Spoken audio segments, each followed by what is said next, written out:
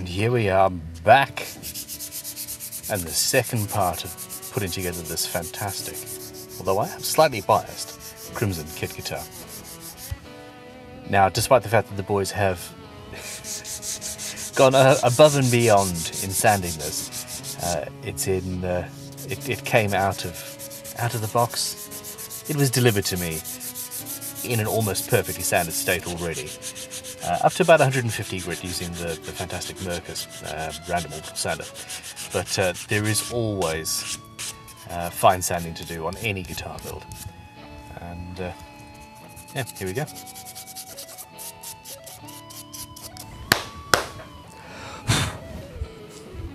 I'm quite enjoying sanding today, actually. Okay. Stain. Stain time. Time to stain. You are a stain. I am not. Okay. We have phthalo blue. We have orange.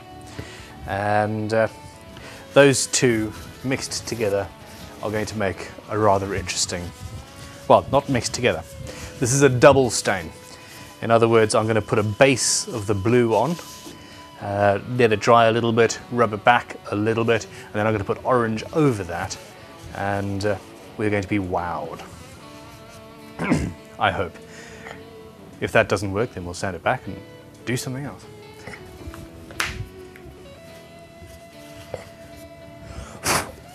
Everything is an experiment, and uh, the fact that I'm being filmed doesn't change that fact. I've not messed around with a, a blue based stain before. I love this colour. It is a lovely colour. Who, who could blame you?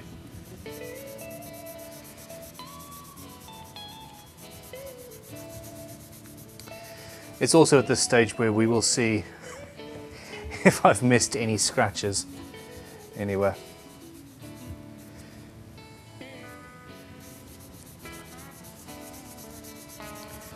Which is always entirely possible.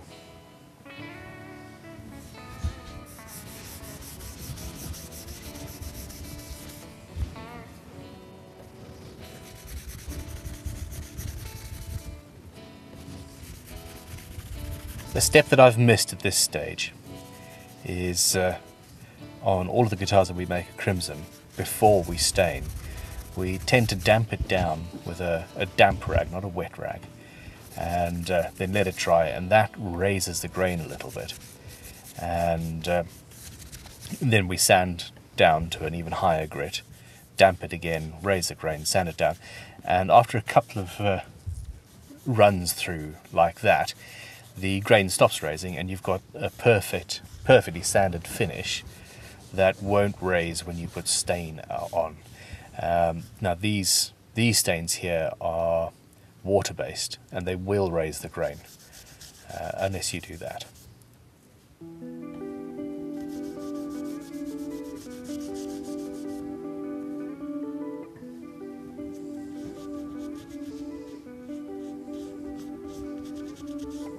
Notice that spot on the end of the headstock. I didn't notice that until the uh, camera person leaned in and just whispered in my ear at this point. Said, Wait, you've got a spot that you've missed. There we go. Sorted. This bit often gets missed.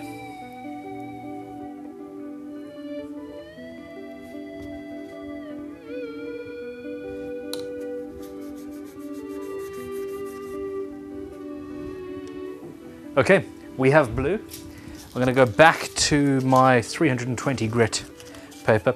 You can go finer if you want, 400, 600. I wouldn't really suggest going any finer than that. And uh, I'm just going to just take the top off. This is a water-based stain I just said that. and uh, it raises the grain just a little bit, depending on how well you've sanded it. It'll raise the grain, sand it back a little bit, that pushes the grain back. If you aren't going to do a double stain like this and you don't want to go through this process, then, and this applies to all sorts of finishes actually, uh, you want to damp down your wood beforehand and sand it as part of the sanding process, and that gives you a much, much better uh, base for any finish that you want. Uh, I've avoided that this time because I knew I was going to be sanding down in between stain coats.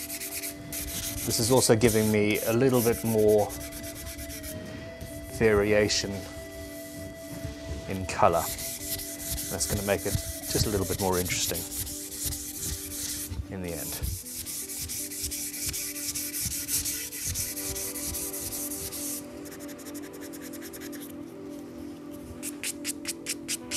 Well, he's just repeating what I've just said to you, so I don't know, trying to take my limelight or something like that, really. Prove his superior knowledge.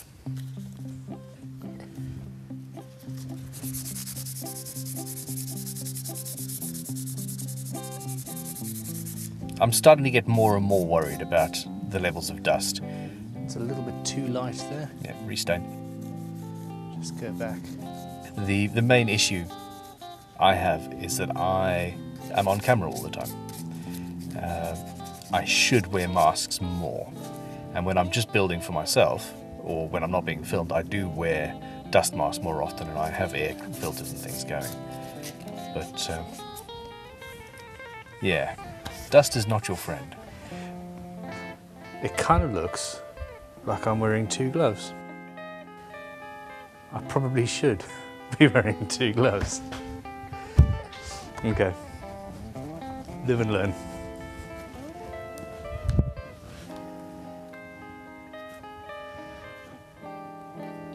The reason why I was only wearing one glove is because uh, as I'm sanding down, I like to feel what I've done. The moment of truth. A moment of truth. There we go.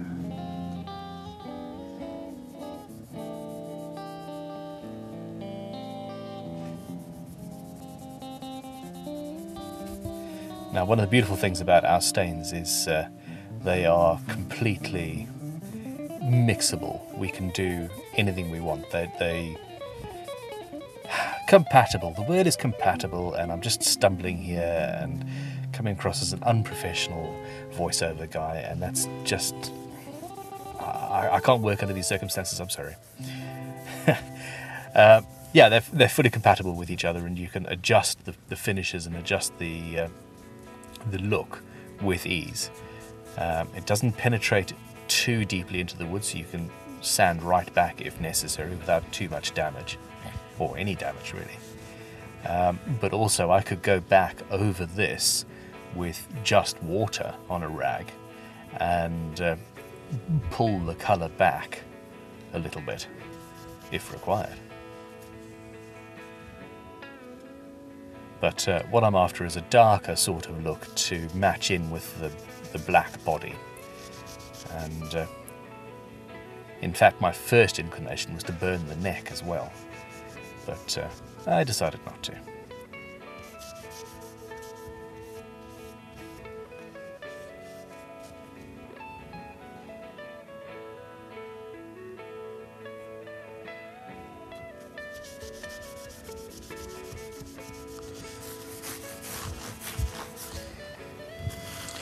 It's a little bit more monochrome than I was hoping for.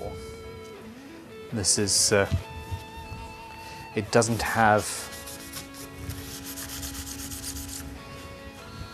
It doesn't have the uh, the variation of a flame maple chunk of wood.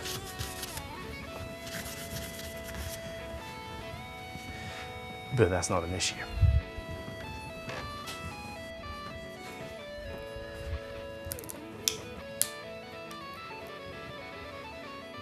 Okay.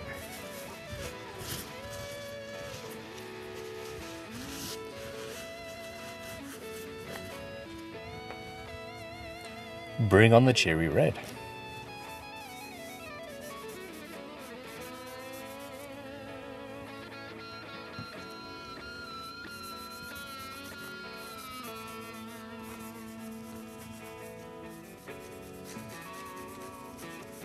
And this is where we see layer upon layer can really have an effect.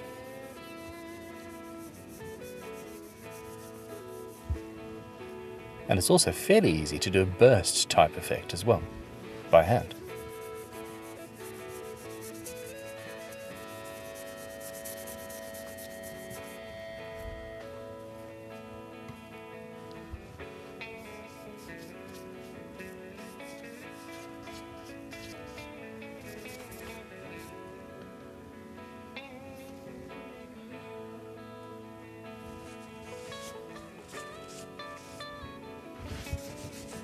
Yeah, that didn't look good, did it?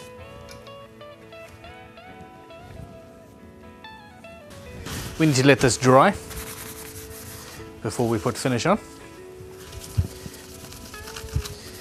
But you will see it absolutely pop underneath an oil finish in a minute.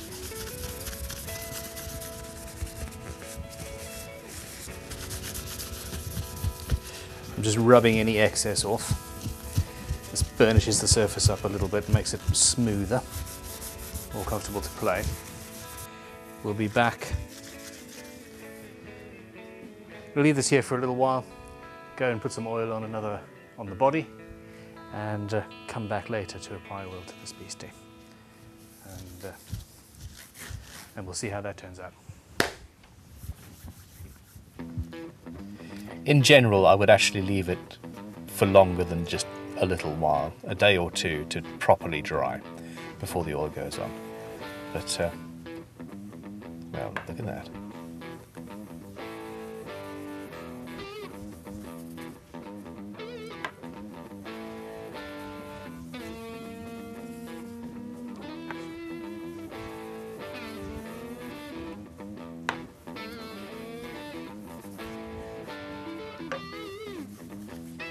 Thin coats, lightly applied, burnishing as we go, taking away the excess as well. Now, because we've got the, uh, the stain on there and we've essentially rubbed down the grain, it's not penetrating as deeply as uh, it would on raw wood.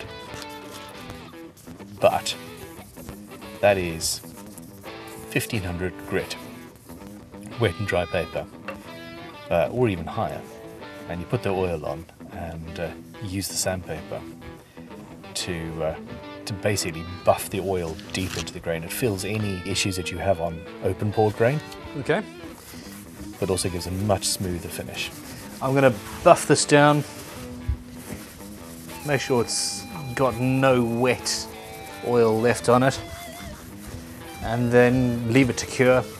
And it needs two or three more coats of oil at least.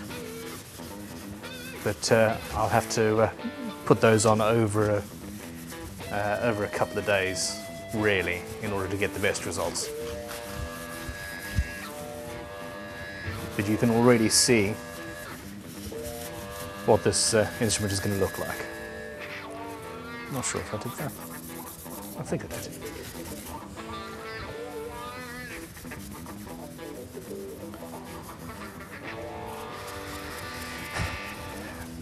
And in this case, the kit guitar, I'm going to be engraving uh, not the Crimson Guitars logo, I'm going to do my own little sigil thing on here because it's Well, it's not a crimson guitar, it's a crimson kit.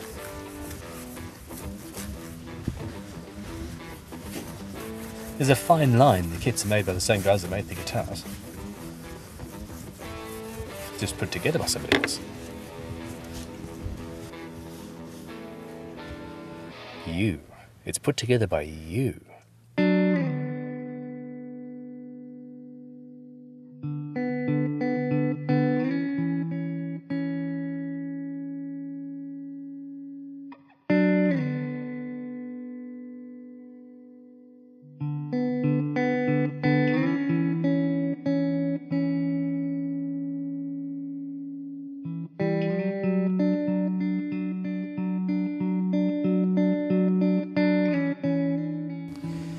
So this has had just the one rather extensive coat of oil.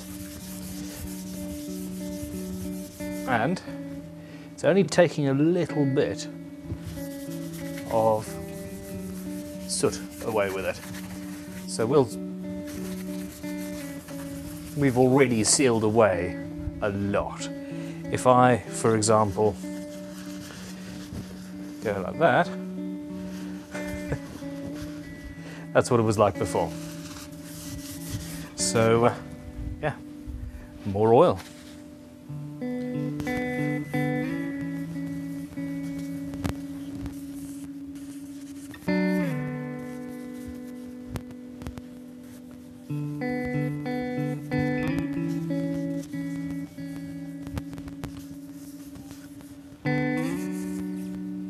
Crimson Guitar's guitar finishing oil is designed to penetrate. And uh, even on the second coat, that was penetrating quite a lot. I'll leave it to cure for another five or ten minutes. The length of time depends on how warm it is in the environment that you're in. Uh, and uh, it's relatively cool in here, so that's curing a little bit slower. So uh, yeah, I'll leave that and then rub all the excess off. I'm gonna go wash my hands and put my hat somewhere because it's uh, too warm to be wearing a hat, to be fair. Very pretty.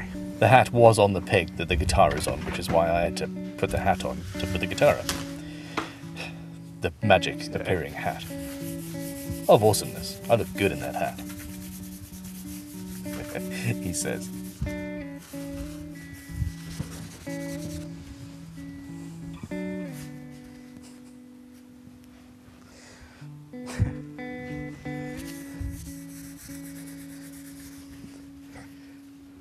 I really feel like taking up screen printing.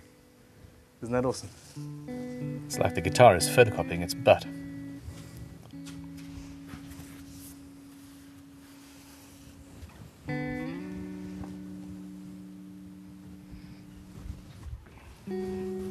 This is a fairly standard T-type. In other words, you can buy you can buy anything you want that will fit on this instrument.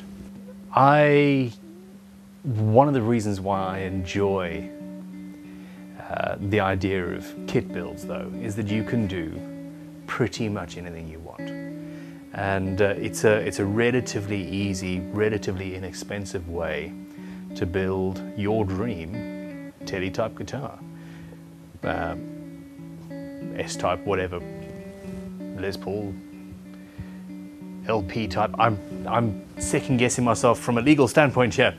Um, but anyway, you know, we're going to be producing a lot of different instruments that are based on fantastic vintage guitars of the past, and uh, you can take that and build whatever you want. I'm not going to put a standard scratch plate on this instrument because that would be boring. And I am currently in the second wind of my copper period, so I am now on camera with you, dear viewer. Was that a little bit too formal? Are we beyond the formal stage in our relationship?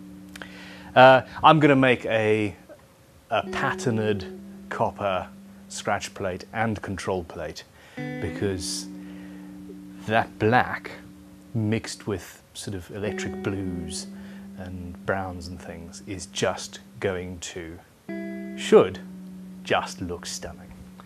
And, uh, and that's all the excuse I need. I fancy it. So uh, let's go. I need some copper.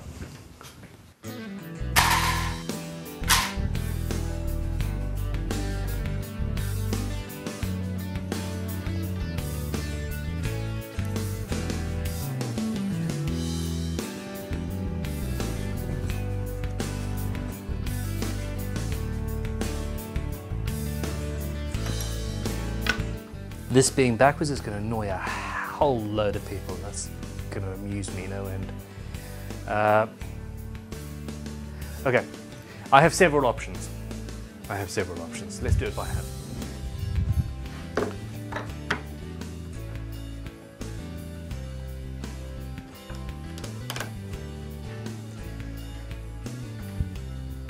I'm going to at least start this by hand.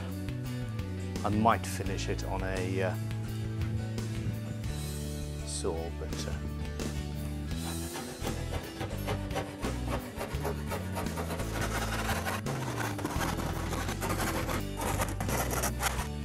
I'm just sitting here waiting for that blade to break. Now, I'm cutting very, very, very close to the line.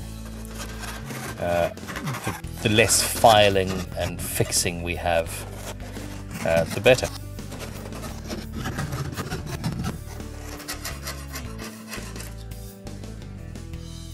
That was like insane to watch.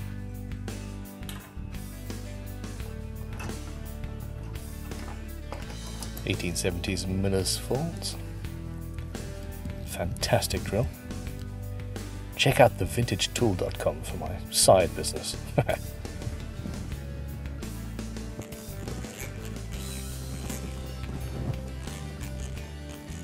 wow, that's a flexible drill bit.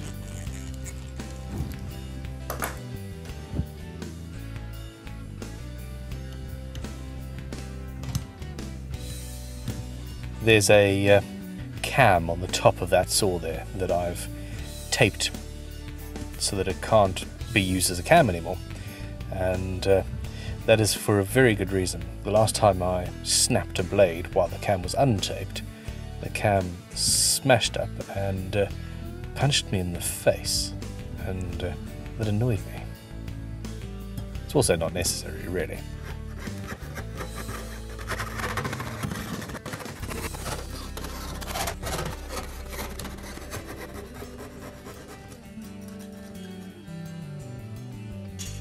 I just really enjoy watching that cut that fast.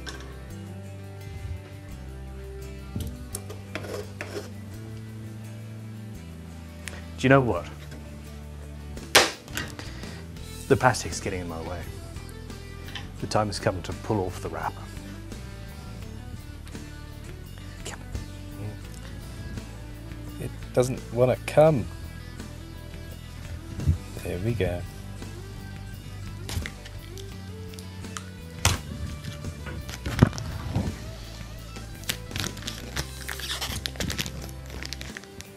Those of you wearing headphones, this is for you. It's a good noise. That's, it's a good noise, isn't it? Indeed. It's that new stuff noise.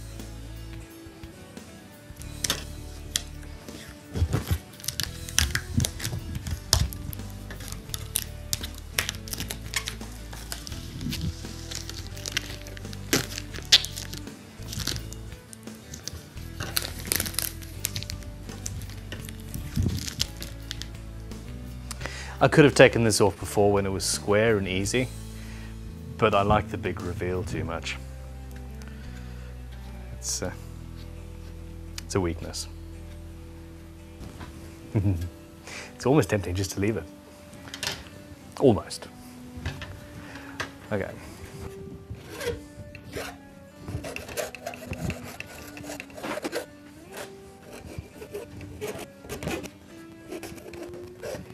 Leveling fast really are rather useful in a myriad of different places and uh, for a myriad of different jobs, really. Myriad, word of the day.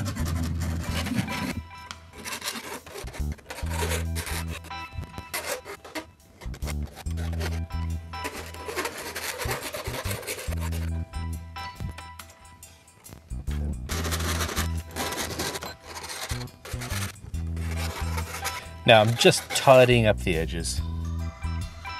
We don't want any sharp edges, we don't want any variation really. A little bit of sanding, a little bit of filing. And uh, yeah, here we go.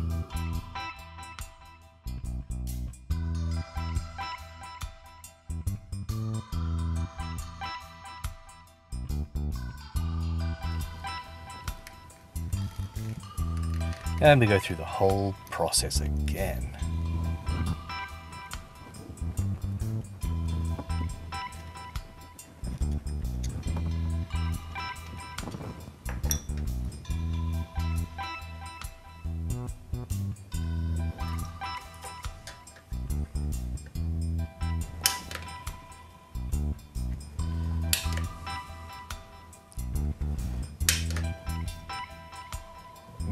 Three-way blade switch.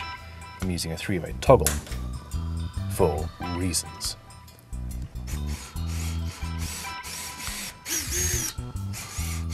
This time drilling through the Triton.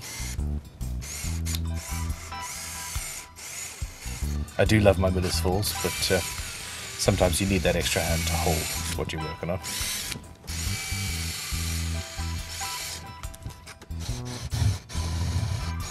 Step drills are absolutely amazing if you're doing any sort of scratch plate making or working with any sheet material.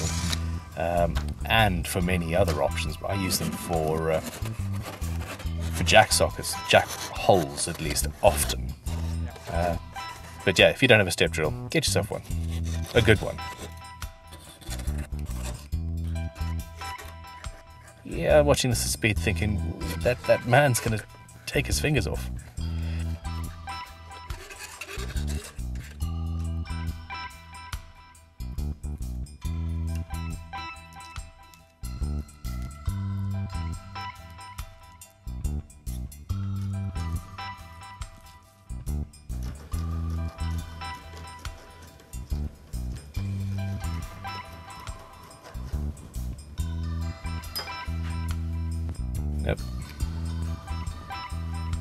There's a faster way. Just use the step drill from the other side.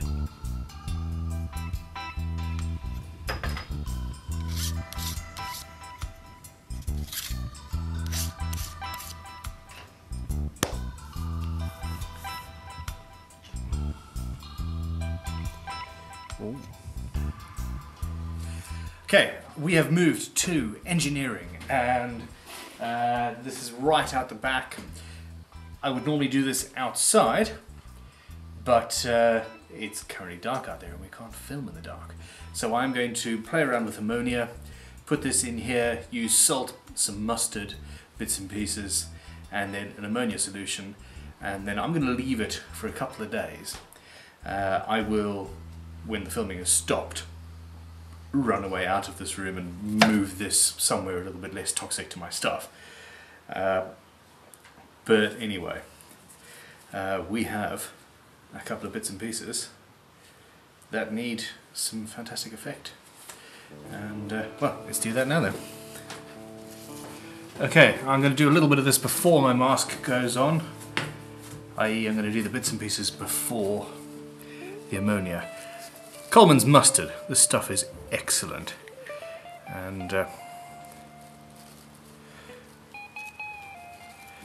I like the sort of colour that you get with it.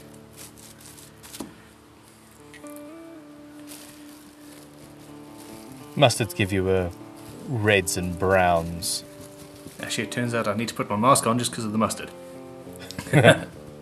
Oh my god, I knocked at myself twice there. That's insane. I'm so sorry. I'm actually Okay, embarrassed. these are the two ingredients that we're going to use most of today.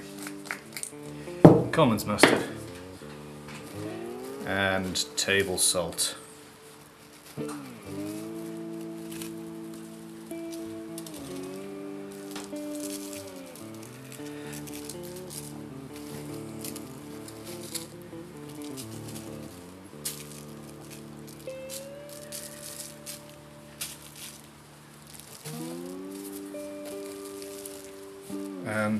My sister some more salt and probably a new salt shaker. Okay, I'm to put the mask on and uh, uh, put in some ammonia.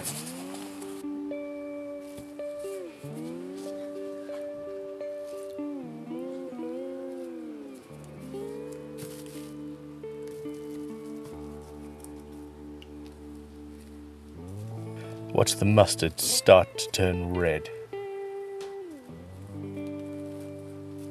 Now, just dripping this on really isn't cutting the mustard. Oh no. Oh, forgive me. There we go. The mustard started to turn bright red, which is an almost immediate reaction. It's awesome. Uh, now, oh, and then you can see the salt up in that pickup cavity started to turn blue. And those two colours, along with the copper itself, um, are awesome.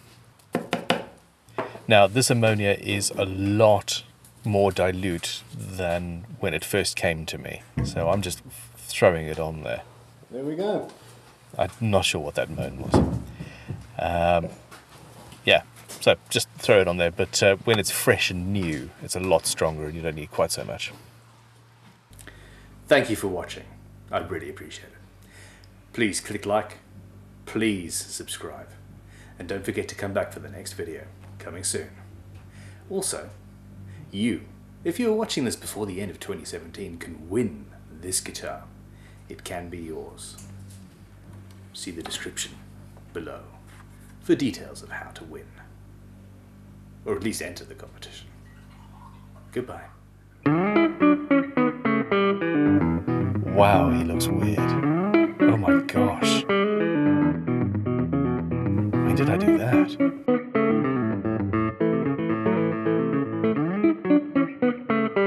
that? Thanks for watching, everybody. See you later. Bye.